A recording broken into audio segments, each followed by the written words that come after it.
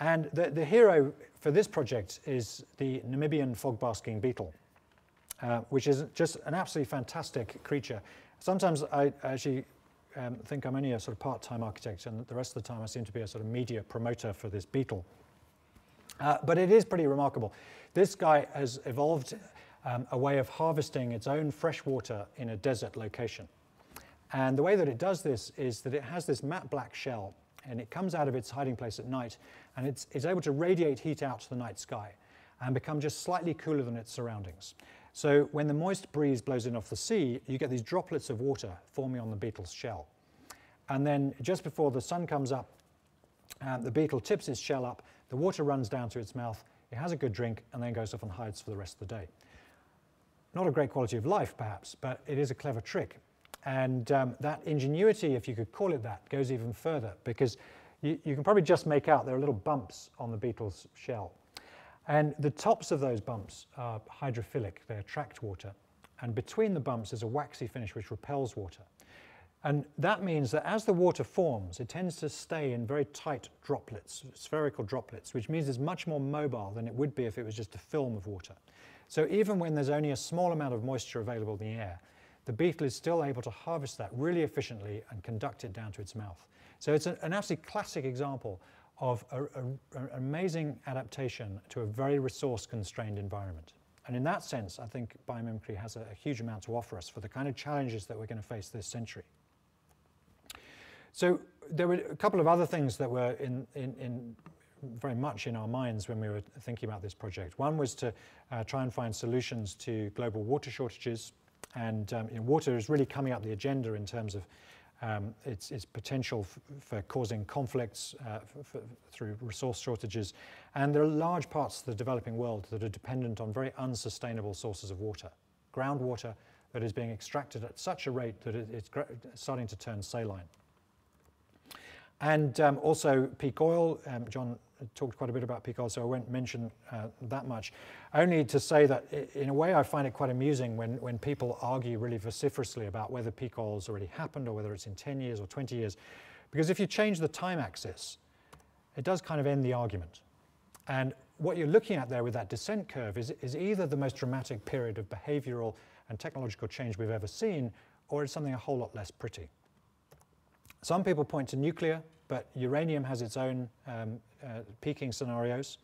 And at the moment, we only get 3.5% of our um, net energy from nuclear. So if there was a big shift towards nuclear, then you're just likely to see those, those peaking scenarios coming much further forward. So I would argue that at, at best, nuclear is a short-term stopgap, and at worst, it's a dangerous distraction from what we really need to be doing. And what we really need to be doing is, is making that difficult shift from a carbon economy to a solar economy.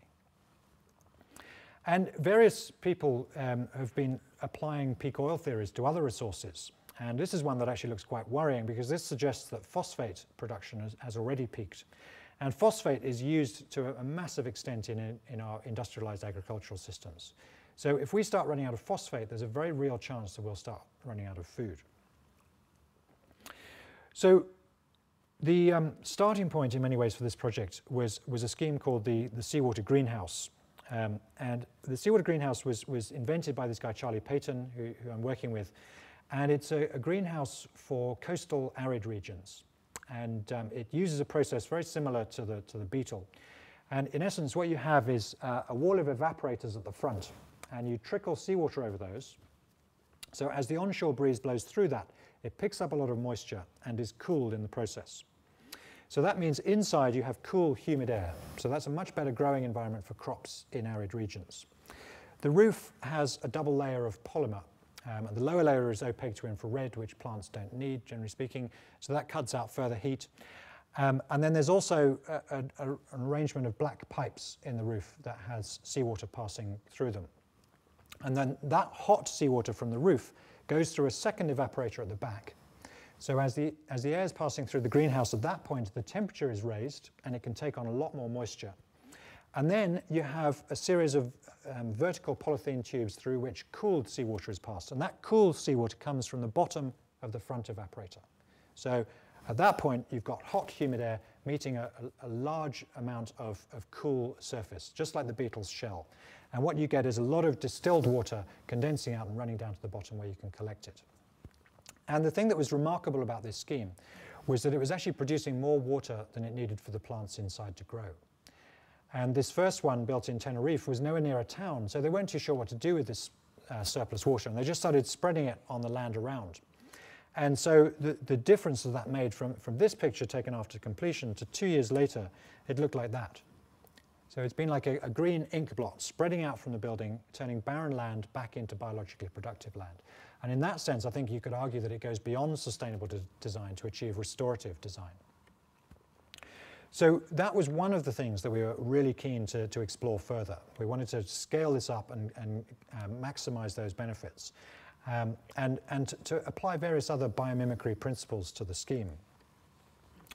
So we know from the three that have been built um, that they evaporate about 50 tons of seawater per hectare per day.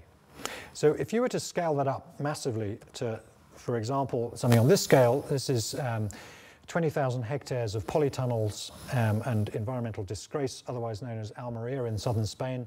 A horrendously unsustainable form of agriculture, produces thousands of tons of plastic waste every year, and is all based on groundwater, which is turning saline. So the Spanish government uh, are building a whole string of uh, fossil fuel desalination plants around the coast. Uh, shame, because if that was uh, seawater greenhouses, that region would be a net producer of distilled water. But anyway, just take that figure of 20,000 hectares multiplied by 50 tons per hectare per day. That would be evaporating about a million tons of seawater per day. So if we were to create a scheme of that sort of scale, then ideally we wouldn't want to have to pump that water because that would involve a lot of energy.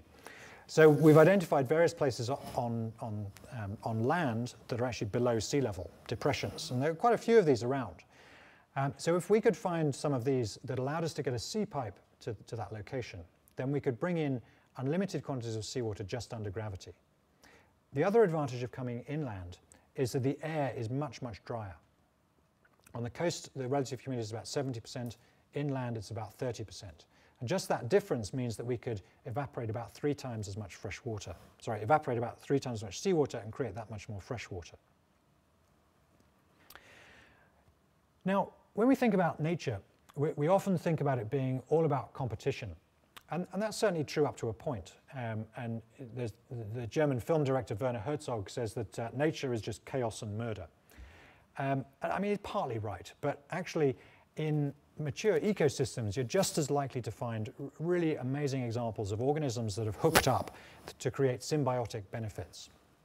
And so a, fundamental principle of biomimicry is to try and find uh, or try and create examples of, of, synergistic design, symbiotic relationships. So we looked around for other types of technology that could be symbiotic with the uh, seawater greenhouse.